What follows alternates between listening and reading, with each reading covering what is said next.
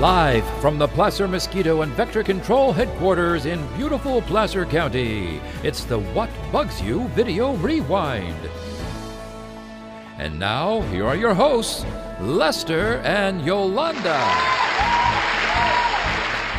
Hello, everyone, and welcome to the What Bugs You Video Rewind. Now, I may look familiar to you as I am Webster's twin brother, Lester. And I am Wanda's twin sister, Yolanda. what are the odds? now, today we're going to rewind some of our favorite moments from some of our favorite Webster and Wanda videos. And let's say we start with the first video that launched it all. It's the Placer Mosquito and Vector Control District's What Bugs You School Tour. Oh, Lester, this is a classic. It is our first glimpse into two characters who have a lot of fun, but have a lot to say. Oh, I agree, Yolanda. The presentation style is entertaining and informative. I believe the term for that is infotainment. Mm. Say it with me now. Infotainment. infotainment. so, what was one of your favorite parts of the video, Lester? For me, I enjoyed seeing all the mosquito fish at the hatchery. Let's say we rewind and show the clip. We have lots of mosquito fish ready at a moment's notice to be transported to areas of standing water, like ditches, green pools, ponds, and horse troughs. And this is a natural way of not only feeding the fish, but of reducing the mosquito population. Mosquitoes lay their eggs on the surface of the water where they float like little tiny rafts. And these fish have their eyes and their mouths on the top of their heads, which makes it very easy for them to not only find, but to eat the larvae. I found that, as Webster would say, factually, fascinating. what did you enjoy most about the video, Yolanda? Well, I would have to say that one of my favorite parts was a demonstration on how to break the life cycle of the mosquito by draining all standing water. Let's rewind a short clip, shall we?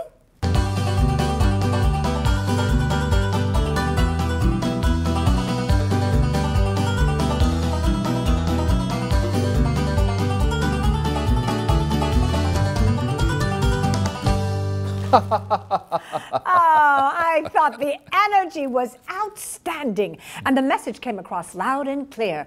Drain all standing water. I agree completely, Yolanda. I give it a big thumbs up. Me too, Lester. And now we're going to take a look at three short videos also produced by the Placer Mosquito and Vector Control District. And the first video we're going to rewind is The Wacky World of Ticks. Oh, I love this one, Lester, partially because we were introduced to the pupologist, Romeo. I'm such a fan. I also enjoyed how they went out on location to investigate all the hiding places of those ticks. Let's rewind the clip. They hang around in grassy areas waiting for you and your pets to walk by, then they grab on and hitch a ride. Once on you, they crawl around looking for the perfect place to attach.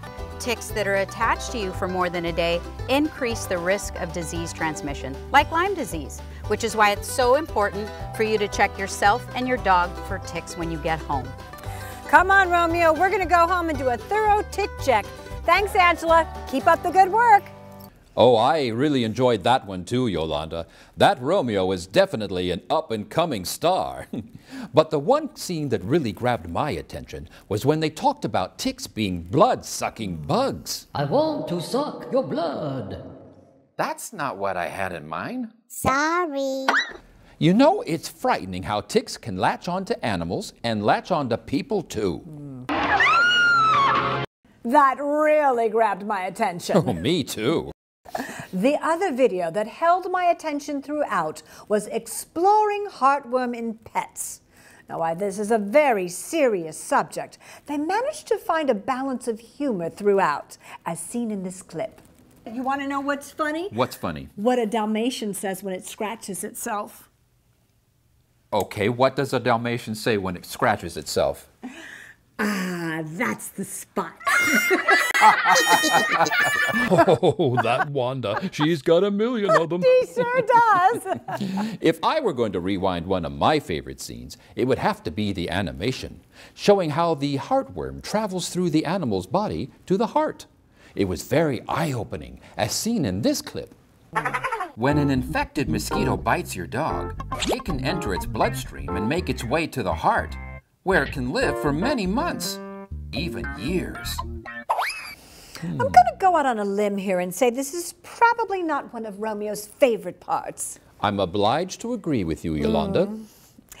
And our last video rewind is the latest production from the Placer Mosquito and Vector Control District, The Buzz About Yellow Jackets. Oh, I found this riveting. From the live video of the Yellow Jackets building their nests to explaining what can happen when you encounter a hangry yellow jacket. You mean besides stay away? Exactly. If it is an active nest, contact the Placer Mosquito and Vector Control District and they'll send out a technician to investigate. If it is a yellow jacket nest, they'll safely remove it. Simply amazing. Hmm. Lester, there is so much to see in all three of these videos. They were fun and entertaining, and yet shared important information to help us all stay better prepared. I give all three videos a big thumbs up. I couldn't agree more, Yolanda. In fact, we give a big thumbs up to all the videos featured here today. The What Bugs You School Tour, The Wacky World of Ticks, Exploring Heartworm in Pets, and The Buzz About Yellow Jackets. And we highly recommend you see all four of these videos in their entirety at the placermosquitolearninglab.org website. And while you're there, download your own Rewind video review sheet so you can make notes about key parts of each video. It's the best way to make sure you don't miss a thing. So clever. So clever. and rumor has it that those two, Webster and Wanda, have other videos in the works. So watch the website for the further adventures of Webster and Wanda. And be sure and check the website for upcoming contests, games, and activities. Well, that's a wrap. Until next time, I'm Lester. And I'm Yolanda. Goodbye, everyone. everyone.